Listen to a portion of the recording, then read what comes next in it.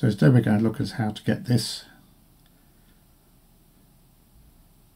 sphere with this text spinning around it and the green background. So it's uh, over to the timeline and add a fusion composition. So we put a fusion composition onto the timeline here and what we'll do is we'll just extend it slightly so we've got something to play with. Too long, let's make it about 10 seconds. Okay, so we'll nip over to the Fusion page and what we want is a 3D shape and we need our 3D renderer. Connect those up.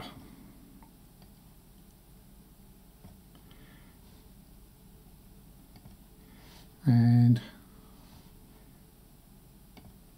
shape 3D. So we're going to go with a sphere. So if you see down the side here,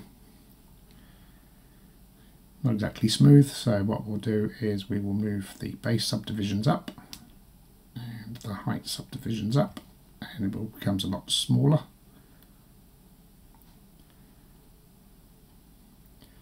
So it gives the illusion of it being smooth. And we'll reduce the radius down.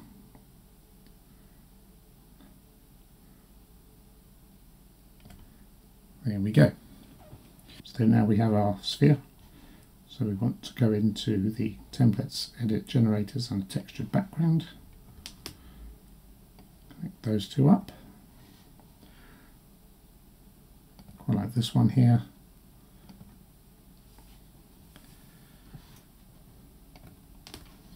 Rotate this round so we can see.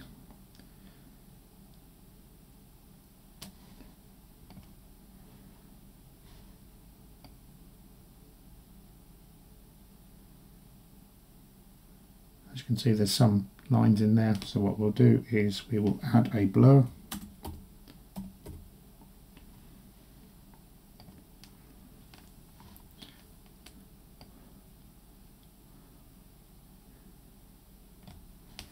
and not looking too bad. Take the blur right up.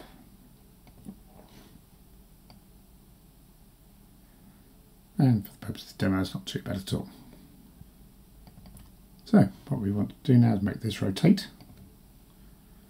Let's make this rotate, so we'll add a keyframe here. And at the end,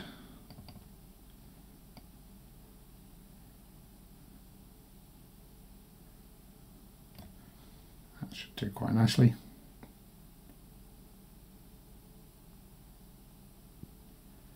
Right, so there we have our sphere with texture, which is some idea of movement. Now what we want to do is add some 3D text to this, so it will wrap around. So we'll take our text 3D, connect that up, So there we go. Change this to spinning world.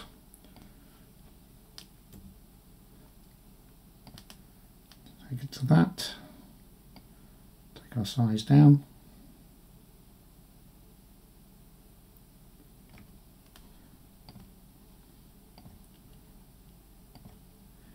And change that to a circle. change the size.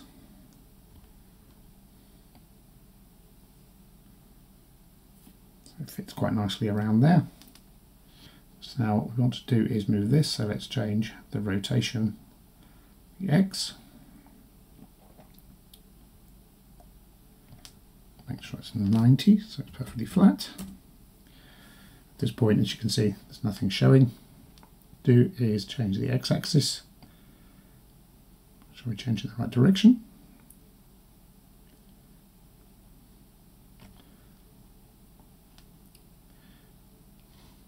Then what we want to do is animate this spinning round. So we've got our x-axis here. Now we want to do is make this rotate around the sphere. So we'll come across here to our first frame.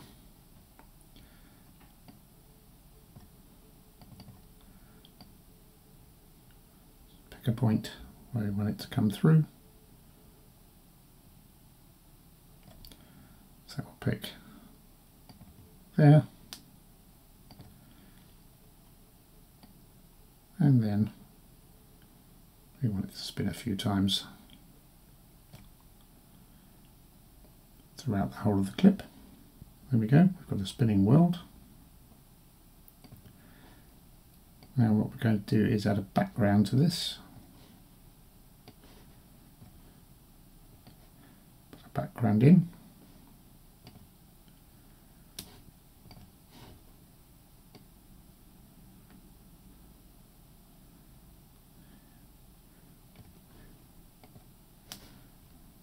Right, so we've picked a colour. Now what you can see is the background is in front of our 3D image. So quite easy to change that onto the merge node. And then use the swap inputs.